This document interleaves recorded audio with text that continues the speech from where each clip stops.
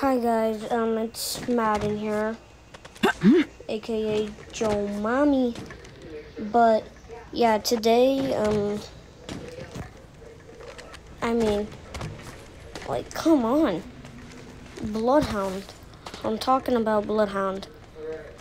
I mean, every time you're in a game, you see somebody like this coming at you, Bloodhound, you're like, oh, it's over every time you every time you're like in the second to last squad i mean i love apex but this is one reason. And i mean i got this nice new skin and stuff but every time and i mean every time i always come in apex i hear this stupid little guy come in and be like be like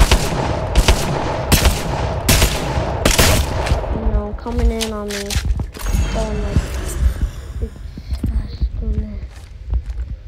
scanning the area like Scanning the area. Like, bro.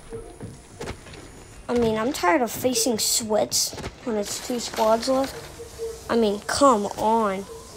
You always you always plating up, two squads left, feel good, then all of a sudden you hear scanning the area, or you feel or you see um spotted, you can always like run for your life. Like stop stop the cat, man.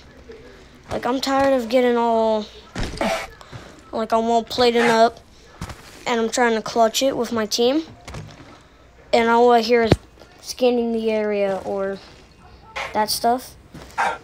And it's just three seconds later, it's a dead.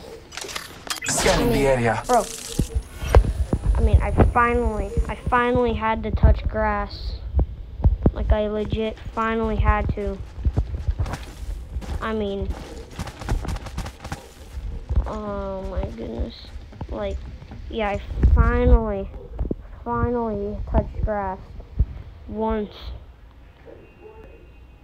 And I said, yeah, Bloodhound's this way. Like and subscribe for part two.